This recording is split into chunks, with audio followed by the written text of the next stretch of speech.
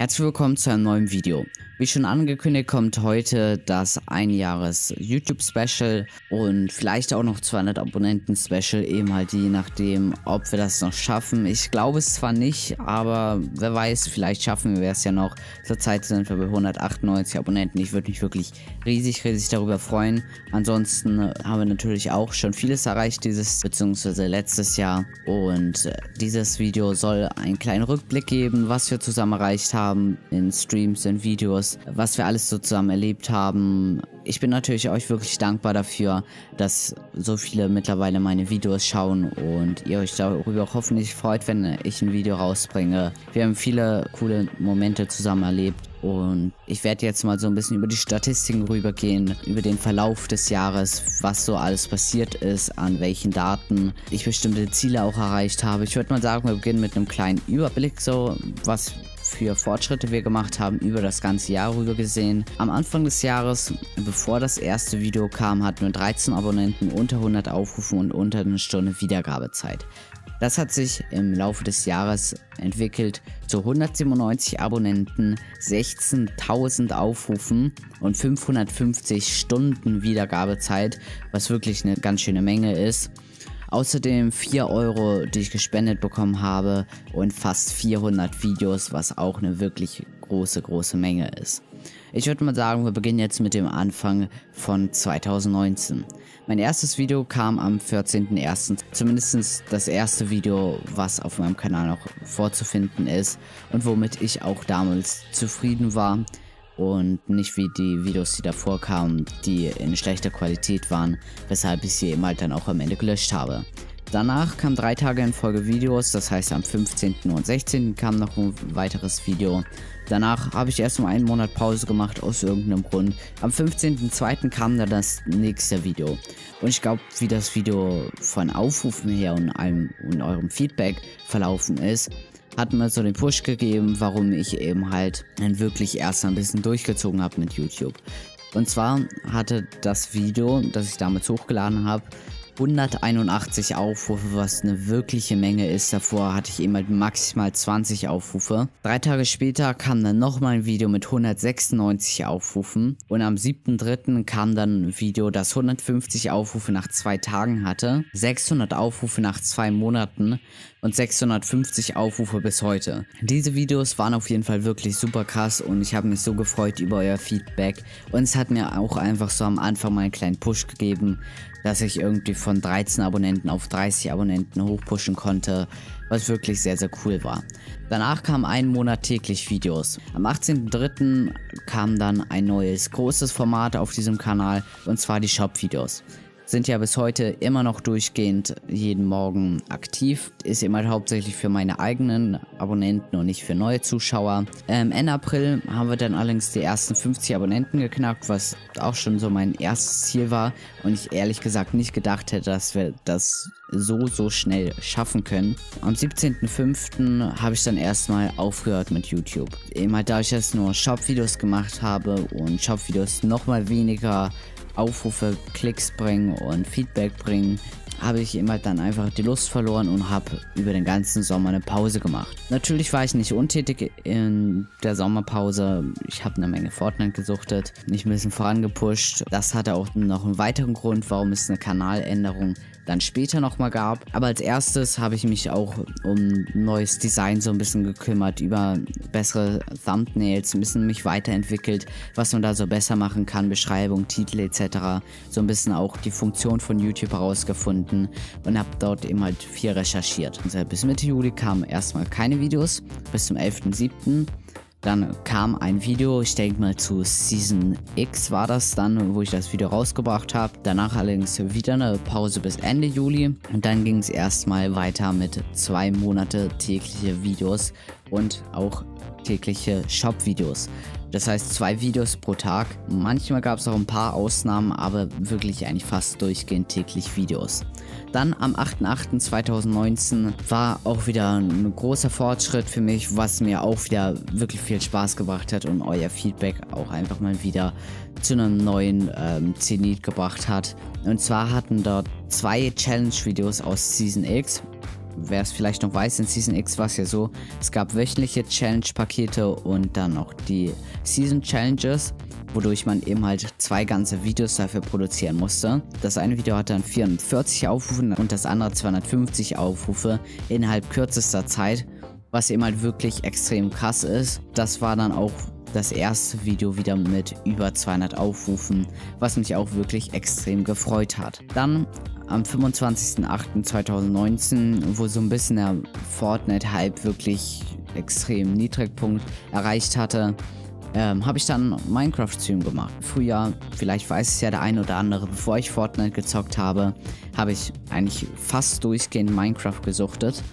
Und in dem Stream haben wir einfach neun Abonnenten dazu gewonnen. Das innerhalb relativ kurzer Zeit. Und in dem Stream haben wir damit auch die 100 Abonnenten erreicht.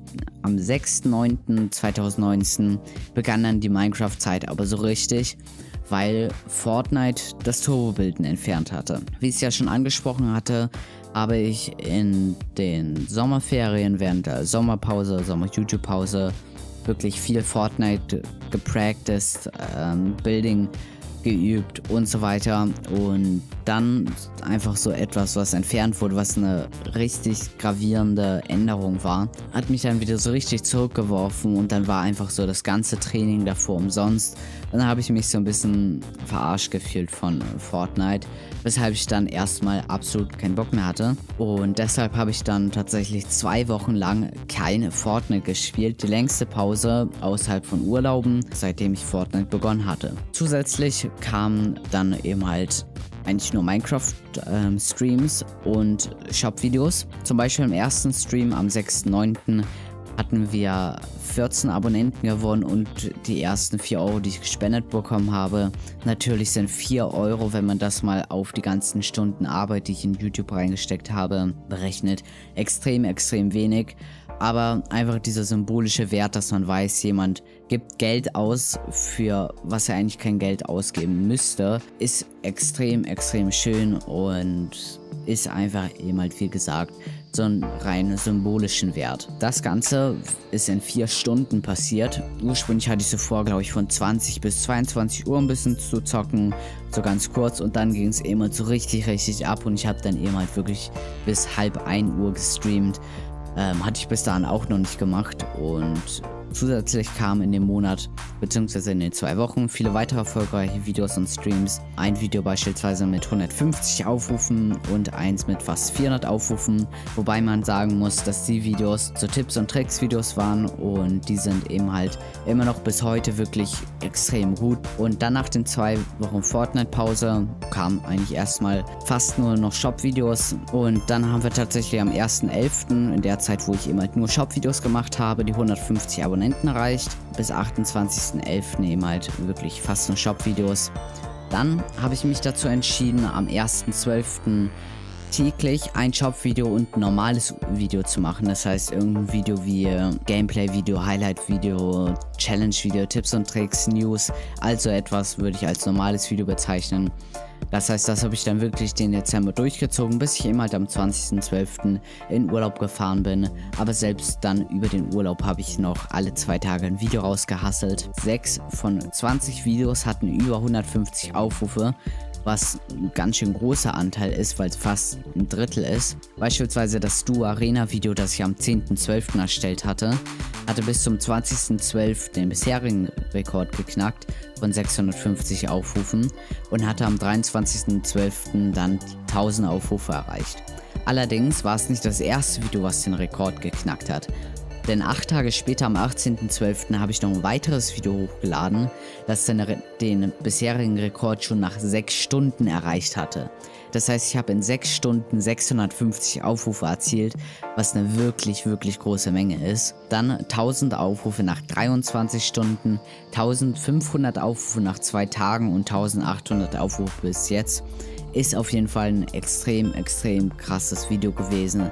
Hat mir wirklich wieder ein richtig viel Spaß gebracht, Videos zu machen und hat mich auch wirklich extrem gefreut. Dann in 2020 habe ich erstmal eine Woche Pause gemacht. Wollte ich einfach eine kurze Pause so ein bisschen haben, mich ein bisschen erholen. War natürlich nicht untätig. Beispielsweise habe ich 13 Folgen Transport Fever 2 aufgenommen die ich noch lange nicht hochgeladen habe. Ich habe noch acht Folgen irgendwie auf der Festplatte oder so, die ich natürlich dann noch alle hochladen kann, aber ich habe eben halt sonst keine Videos geschnitten und einfach sonst ein bisschen entspannt, auch kaum Fortnite gezockt oder was heißt kaum Fortnite gezockt, nur ein, zwei Stunden, was für mich wenig ist.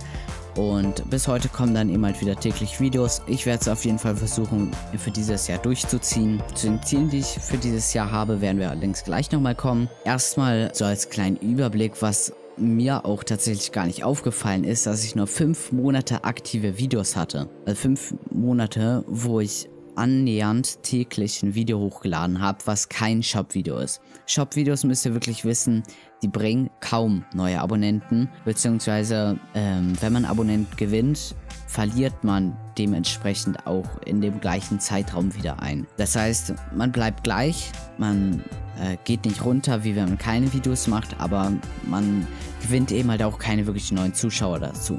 Drei Monate habe ich dann fast nur Shop-Videos gemacht und vier Monate einfach gar keine Videos, wo ich dann auch nochmal Abonnenten verloren habe. Das heißt, ich habe fast 200 Abonnenten in fünf Monaten bekommen. Wenn man jetzt noch die vier, wenn ich die vier Monate jetzt auch noch Shop-Videos gemacht hätte, dann wären wir eben halt locker genau bei 200 Abonnenten und das ist auf jeden Fall eine ganz schön krasse Zahl, weil es etwas anderes ist, als wenn man sagt, in zwölf Monaten 200 Abonnenten.